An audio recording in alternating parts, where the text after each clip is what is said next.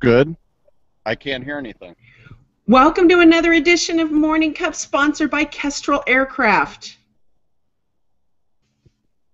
Hi, this is Todd Lohenry, manager of digital and social media for Kestrel Aircraft. We're in the second day of the show today, and we're really excited about the Google Hangouts on Air that we're going to bring to you. First this morning at 10 o'clock Central, we're going to be talking to the AOPA, followed by the Smithsonian Institute at uh, 11 o'clock Central Time.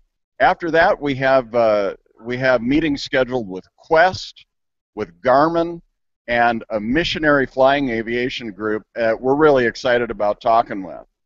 So um, it's going to be a good day for our Google Hangouts. We hope that you'll tune in and stick along with us as we go through the day. Do we have any panels for or panels from the question? Yes, there is a panel from the question.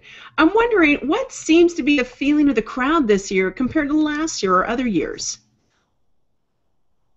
Uh, the mood here is really interesting. You know, very optimistic. I haven't been here for a couple of years. It's been two years since I've been at the show.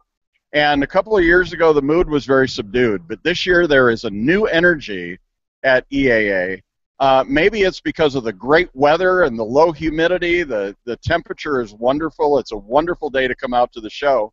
Uh, but uh, I think, as Jim Campbell put it yesterday, people in the aviation community are sick and tired of being sick and tired. And so, for whatever reason, the mood here is very upbeat and positive.